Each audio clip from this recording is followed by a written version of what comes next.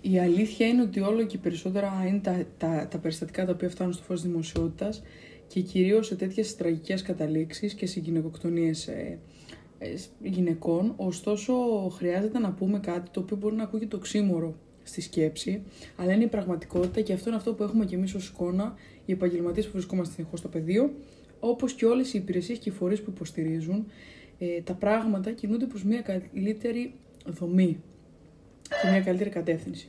Όλο και περισσότεροι άνθρωποι μιλούν, όλο και περισσότεροι άνθρωποι ζητούν βοήθεια, ακόμη και τρίτοι πλέον προσπαθούν να αναζητήσουν mm. τι μπορούν να κάνουν για να βοηθήσουν. Ε, Συγχρόνως υπάρχει περισσότερος κίνδυνος. Βλέπουμε ότι μετά από τέτοια γεγονότα, όπως και η πρόσφατη γυναικοκτονία, οι γυναίκες τηλεφωνούν ακόμη πιο έντονες και έντρομες ότι μπορεί να συμβεί το ίδιο και σε εκείνες. Είναι μάλιστα και σύνδεσες απειλές που χρησιμοποιούν οι θήτες.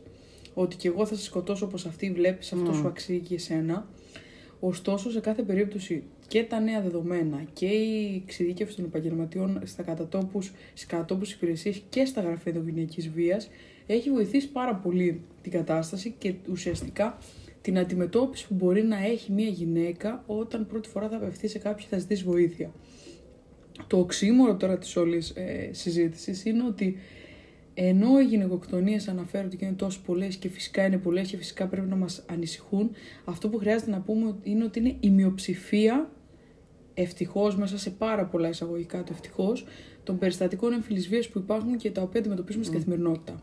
Και αυτό το λέμε γιατί χρειάζεται να ακουστεί στον κόσμο, χρειάζεται να ακουστεί στις γυναίκες που φτάνουν έντρομες και σε εμάς και λένε θα με σκοτώσει, είναι αυτό. Mm-hmm. Πάντοτε λαμβάνουμε υπόψη μας τον κίνδυνο που διατρέχει μια γυναίκα. Διαμορφώνει το εξατομικευμένο πλάνο ασφαλείας που έχει και χρειάζεται να γίνει ανάλογα με τις ιδιαίτερες συνθήκες mm-hmm. περίπτωσης. Ε, βάζουμε όλους τους, χρησιμοποιούμε όλο το νομικό απλοστάσιο το οποίο έχουμε στη διάθεσή μας για να μην μπορέσει ο θήτης να κάνει πράξη οποιαδήποτε απειλή.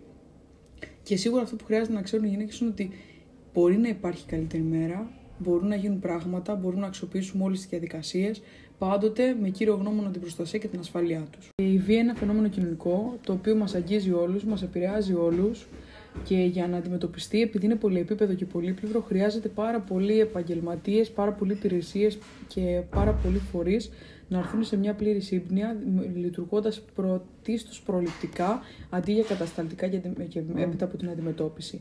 Αυτό σημαίνει ότι από πολύ νωρίς χρειάζεται να διαπαιδαγωγούμε και να άρουμε στερεότυπα, αντιλήψεις, πρακτικές, τις οποίες έχουμε όλοι υιοθετήσει και κανονικοποιήσει στην πραγματικότητά μας και στην καθημερινότητά μας, τόσο πολύ ώστε πολλές φορές μας κάνουν να μην αντιδρούμε σε υφιστάμενη βία, σε αισθησμού που περιέχουν βία, mm. λίγο να το οικειοποιούμαστε, με αποτέλεσμα όταν φύγει ένα μεγάλο περιστατικό βίας, ε, ποτέ να μιλούμε, αλλά ποτέ δεν είναι το πρώτο. Και ποτέ ένα περιστατικό βίας, αυτό το οποίο γίνεται στην φάση της έντασης του κύκλου της βίας, δεν είναι σαν κεραυνό στην εθρία. Είναι περιστατικό το οποίο συμβαίνει ενώ έχει υπάρξει σωρευτικά πάρα πολύ μεγάλη άσκηση βίας σε διάφορες περιπτώσεις και σε διάφορες άλλες καταστάσεις. Γι' αυτό λοιπόν το γιατί εμπεριέχει πολλά εμπεριέχει πρακτικές με τις οποίες διαποδεγωγηθήκαμε, εμπεριέχει, εμπεριέχει κοινωνικές αντιλήψεις, κοινωνικές κατασκευές, εμπεριέχει αδυναμία πολλές φορές των φορέων και των υπηρεσιών να υποστηρίξουμε τις γυναίκες και να τους δώσουμε το αίσθημα, όχι γιατί δεν έχουμε τη δυνατότητα, πολλές φορές υπερβάλλουμε, υπερβάλλουμε και αυτό για να υποστηρίξουμε, αλλά δεν βοηθούμε και δεν ανταποκρινόμαστε στις ανάγκες που οι γυναίκες μας ζητούν. Και αυτό είναι πάρα πολύ σημαντικό. Mm. Χρειάζεται να υπάρχει εξειδικευμένη γνώση, εξειδικευμένη κατάρτιση, έτσι ώστε να στεκόμαστε δίπλα στις γυναίκες που απευθύνονται σε εμάς, αναγνωρίζοντας τις ανάγκες, αναγνωρίζοντα το φόβο, αναγνωρίζοντας όλα τα ιδιαίτερα χαρακτηριστικά που έχει το τραύμα της κακοποίησης, έτσι ώστε αυτή την πρώτη επικοινωνία που είναι πάρα πολύ σημαντική για, για εκείνες να την κάνουμε δρόμο όσο το δυνατόν πιο ανοιχτό και με λιγότερα εμπόδια να βαδίσουν. Απ' όλα είναι οι γυναίκες να λαμβάνουν υποστήριξη, να ενδυναμώνονται, να γνωρίζουν επακριβώς τα δικαιώματά τους και να μην φεύγουν από οποιοδήποτε φορέα πηγαίνουν να καταγγείλουν χωρίς να είναι σίγουρες ότι η ασφάλειά τους είναι σε προτεραιότητα. Να απαιτούν πράγματα, να διεκδικούν πράγματα, γιατί αυτό είναι το σημαντικό και βλέπουμε ότι κάποιες φορές ολέθριες παραλήψεις, σφάλματα στοιχίζουν ανθρώπινες ζωές από ανάμεσά μας και δεν μπορούμε να επιτρέψουμε να γίνει τίποτα τέτοιο ξανά. Νομίζω ότι το μίλα, αυτό που προτρέπουμε τις γυναίκες να κάνουν, πρέπει να είναι κοινωνική συνείδηση για όλους μας. Μίλα εσύ που βλέπεις την κακοποίηση να συμβαίνει, μίλα και εσύ που τη δέχεσαι και πολύ περισσότερο ε, να γυρίσεις το μίλα αυτό σε όλους εμάς, τους επαγγελματίες του πεδίου,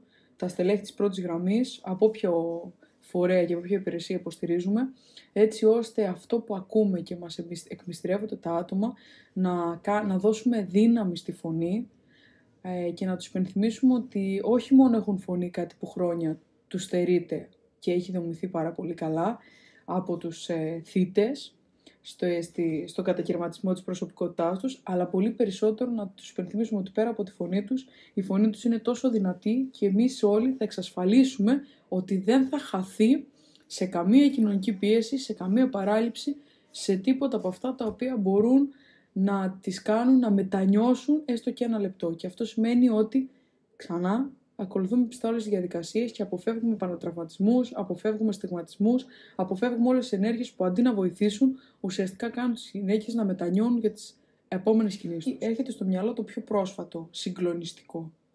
Και λέμε, ε, και εμείς δηλαδή και στις συζητήσεις μας και στα δοκιμικά μας, λέμε ότι αυτή η περίπτωση είναι μια πάρα πολύ δύσκολη περίπτωση. Δεν μπορεί να υπάρξει κάτι παραπάνω. Και όμως κάθε φορά ε, εκπλησόμαστε με το τι παραπάνω μπορεί να υπάρχει, διότι η κακοποίηση είναι ένα φαινόμενο το οποίο δεν θα σταματήσει ποτέ, δυστυχώς, να μας εκπλήσει. Οπότε υπάρχουν πάρα πολλά περιστατικά τα οποία σημαδεύουν, τα οποία μένουν, τα οποία ακόμη διαχειριζόμαστε. Δεν είναι ένα και δύο, είναι όλα. Γιατί στο κάθε περιστατικό εμείς δίνουμε ιδιαίτερη προσοχή, ιδιαίτερο βάρος, το κινούμε μαζί και σίγουρα αυτό το οποίο αντιμετωπίζει μια γυναίκα εκεί έξω και έρχεται και το μοιράζεται μαζί μας, ε, γίνεται μέρος της καθημερινότητάς μας, οπότε κάθε ένα αφήνει το δικό του αποτύπωμα.